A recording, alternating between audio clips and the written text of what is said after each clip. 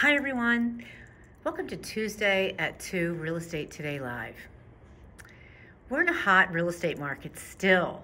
We're in this amazing hot real estate market. What if you're a buyer and you're making offers on houses, condos, co ops, whatever it is? Maybe you're obviously you're not winning because you're still making offers.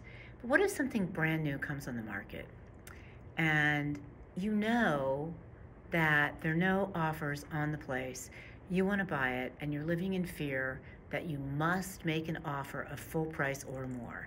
And let's say you've just got that personality that you just want to get it for a little bit less. Well, on this particular property, if there are no other offers and you know that, even if it's brand new on the market, don't be afraid to dip down just a little tiny bit, especially if the house or the condo or the co op is not perfect, magnificent, gorgeous, because the owner knows maybe it needs a few things, maybe it's a little rough around the edges.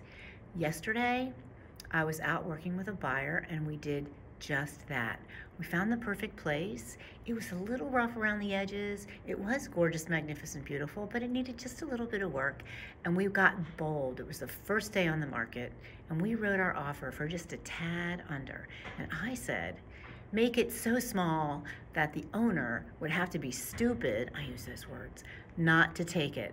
And I did say that to the listing agent. I said, look, we're going to make it so close that the owner would have to really be stupid, don't say I said that, not to take it. So guess what happened? We made the offer.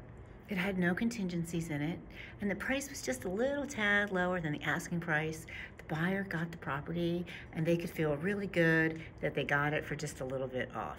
So my message today is, don't be afraid on certain properties to offer just a little bit less. It doesn't always have to be full price or more.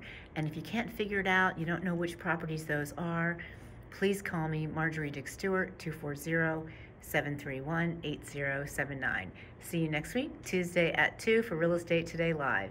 And don't forget to tell your friends.